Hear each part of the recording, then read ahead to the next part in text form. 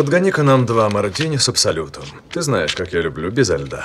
Потом, ровно через семь с половиной минут, принеси нам еще по одному. Потом еще два через каждые пять минут, пока один из нас не нарубится в дрова.